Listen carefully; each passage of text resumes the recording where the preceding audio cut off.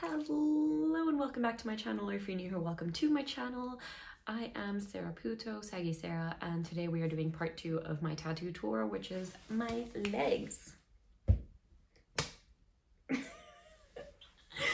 okay, cool. Anyway, let's just get started. I am going through them not in any specific order, but kind of going from up to down so I don't miss anything because I miss something every single time I try and go through my tattoos. So first of all, the You'll Be Okay tattoo. I think it's pretty self-explanatory considering that it is on some past scars. Yes, those scars are uh, self-harm scars. I used to struggle with um, self-harm and I got this tattoo in a point of my life where I just broken up with my first long-term partner and it was really sad and I just felt very lost in life and was worried that I would like resort back to those maladaptive coping patterns if you know what I mean. So I got You'll Be Okay tattooed on me because I really felt like I wasn't gonna be okay but a part of me knew that I was gonna be all good. And look at me now, I was all good. but yes, so I got that. I get a lot of compliments on that tattoo. I got it done by European Sun. I think he changed his username to 222. Anyway, put it here. Highly recommend him. He's done a, a, quite a few of my tattoos, as you will see. Yes, lovely tattoo. Highly recommend getting something tattooed with a meaningful saying over your scars if that's something you struggle with too, because it has helped me a lot. And I luckily have worked through those issues with myself and I no longer resort to those maladaptive coping mechanisms if you know what I mean. Next we have this Hannya mask. I got this from a flash sheet kind of because they are all like a slightly bit different so it was kind of inspired by this tattoo artist flash sheet. I had wanted to be tattooed by him for ages and he also did the crocodile slash alligator. I'm not sure which one it is. So if somebody knows, I remember there's one of my friends told me there's something about like to do with their arm length or positioning on whether it's a crocodile or alligator. but either one, it's one of those. Um, so yeah, just just feel free to tell me in the comments. yeah, so I got those two. No specific meaning, just think they look beautiful, absolutely stunning. Next we have this absolutely magnificent stick and poke I've done of a balloon dog. Why? I don't know. I just randomly drew a balloon dog and I was like, okay, cool, that looks fun. I will tattoo that myself when I was practicing stick and poke. I don't think it's that great at all. Don't think it's well done, so I need to either fix it or cover it up or just leave it. I don't know. It's just there and that's that's my life. Next, we have this cat tattoo. Um, it is my cat that passed away, Ninja. I, I'm not gonna cry. He passed away late February, so I got him tattooed pretty much, I think it was like literally a few weeks after he passed, because he has been, was, damn, I'm still not used to using past tense and I still always say I have two cats. So that's kind of sad but anyway he was the light of my life.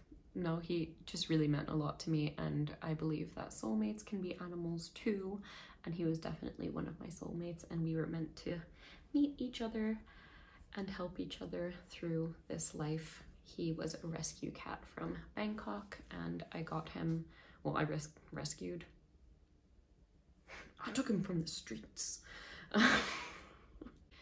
the cat distribution system provided me with him. if you know what that is. If you know, you know. If you don't, then don't worry about it. Yes, I was provided him kindly through the cat distribution system when I was like, I don't know, I think I was maybe 10. So I got him tattooed. Anyway, it looks it looks like him and it's really nice to have him on my leg because that is where he would always sit and suckle on my hand. That sounds really weird, but it was not weird. It was adorable because his mom abandoned him and he had issues. okay, next we have this beautiful dragon on my leg. I have also wanted to be tattooed by him for such a long time. I have a vlog of it and I also have a vlog of me getting the ninja tattoo. So there's that. And then there is also the video of me getting this dragon tattooed. No other reason than other than it is beautiful. I've always wanted a dragon tattoo. It just was kind of like finding one that I liked. Next is this stick and poke face on my, well, above my knee, um, done by Anna Pokes. She is so lovely and I've been following for her for ages. So when she posted this on her flash sheet, I was like, yes, getting that because it's so cool. I don't know, it doesn't mean anything actually at all. It's just very cool looking and cute. Next is the lyric from the 1975, I Always Want to Die Sometimes. You're sat on a train again. I got it facing me.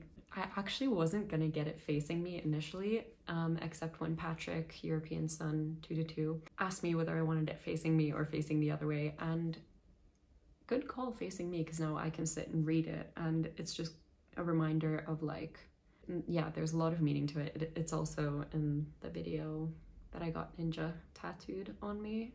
So you can watch that as well if you want to watch me get it tattooed. It is lyrics from the song and I've always loved the 1975 and that song has just been very it's just come up at random times at random important parts of my life and I've just been like yes and it's weirdly whenever I'm sat on a train going to Brighton so then I got it tattooed in Brighton. it's a nice kind of reminder for me because I have been someone who's been depressed my whole life basically and struggled with suicidal tendencies and suicidal ideation. So it's like that reminder that like I know it's there, but it will go away and just kind of like the same way that I'm always sat on the train when I'm listening to that song. It's either from like good things, neutral things, or bad things and bad times there will always be different points in life. And regardless of having those suicidal thoughts or or just being depressed like i'm still alive and well and functioning and surviving and thriving and slaying. So yeah you're sat on a train again. You might be there again but you're still slaying Next is the tattoo on my knee. I actually initially got it done in South Africa and this is what it used to look like before but ever since I got a tattoo machine I've just been practicing on myself with my shading work. I definitely need to redo it again. It's very um, not well done because at the top you can see it's like quite a lot darker but then as you go to the bottom it's a bit more faded because the pain was a lot. I did not realize how much it hurts to like tattoo your knee in black work because when I was just getting the line work done, it was super chilled. It wasn't bad at all. So that's that. No meaning. Once again, I just thought it looked cool. Like a lot of my tattoos I've done or got done with like line work with the idea that in the future I might change my mind and want to get it shaded so then I would have that option of getting it shaded but I wanted to really think about that first because I wasn't sure if I wanted to kind of go for like the line work vibe or like the black work vibe so it was nice to have that option and now I've decided that I'm going black work. Now I have a lot more skin to just mess around with you know and redo so it kind of feels like you're getting a new tattoo even though you're not but you still have that exciting feeling about it. Next, I have this ghost from Jade's Flash. She is also so lovely. I highly recommend if you want a really kind, gentle artist. She is exactly that. Her flash sheets are immaculate. I very much love them, highly recommend her. And yeah, uh, doesn't have any meaning other than it looked cool and just look at the detail on the like little sparkling drink. I'm like, it's so cute. And I love the party hat with the happy and sad faces because that is so me. Why is this me at parties just sitting there like with my drink? That's me at parties if you've ever seen me with a hat, obviously. Next is this panther on my leg. I wanted, it's kind of like a spin-off of the like traditional traditional trad panther tattoos, you know what I mean? So it's like kind of new school but old school vibes. Once again, just thought it looked cool. And then next I have the flame on my ankle. Again, thought it would look cool. I love it. It's honestly so cute. The artist who did it also did my 1996 tattoo and it ended up going viral on Pinterest and I was like, I'm so cool. Cool. Here's the photo. Woo. um, and then we have the Doberman head. That was a very impulsive flash tattoo that I got when I was going to Laws to get tattooed. Um, Tommy, the artist, was also working at that tattoo studio, so I saw his flash and I was like, I need that.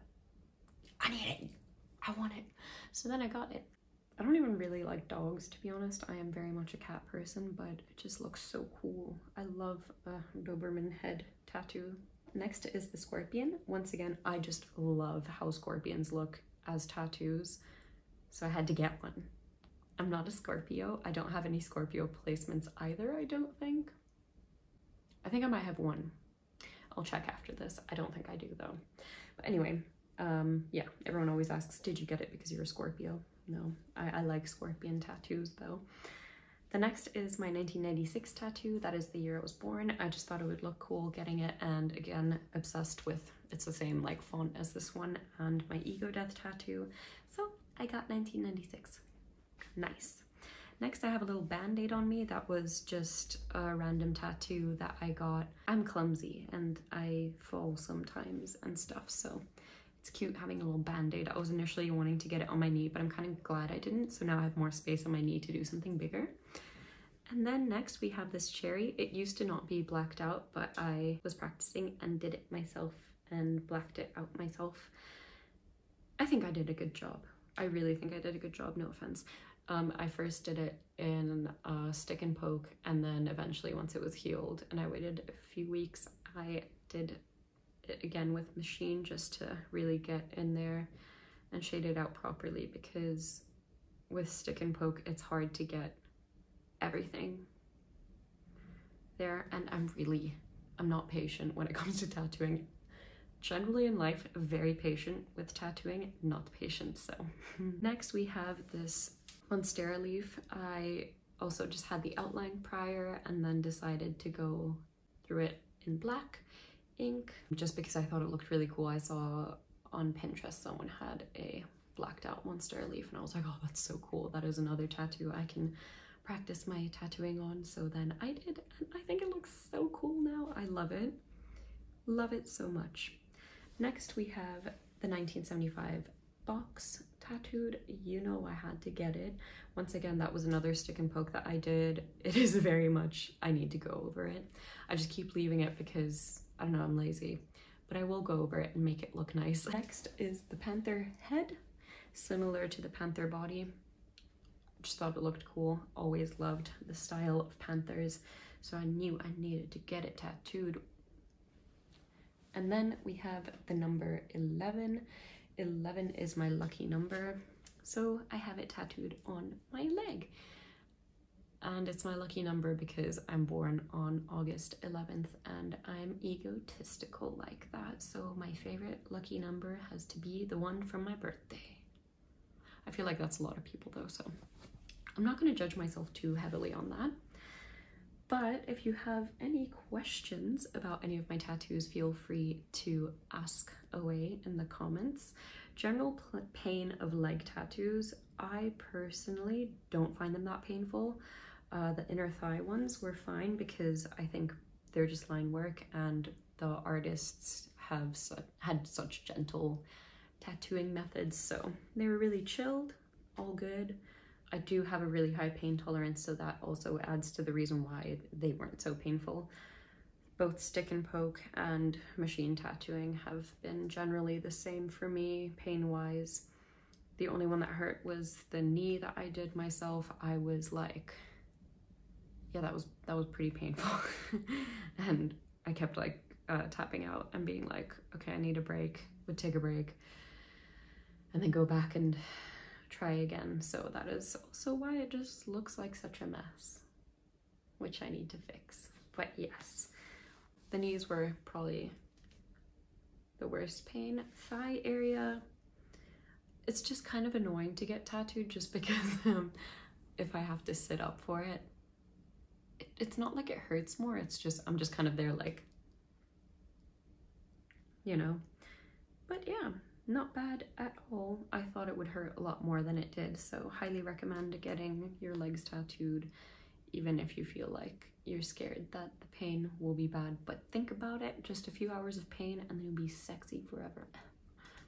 That's just my biased opinion. If you have any other questions, please leave them in the comments below. Don't forget to give this video a like if you like this video or any of my tattoos, or save it to a playlist if you want to use this as tattoo inspo. And thank you so much, and I hope you subscribe if you haven't already, and I will see you next week for a piercing tour, and eventually I will get to my arm tattoo tour because I am getting more additions to this arm. So thank you for being patient and waiting. thank you for watching. Bye.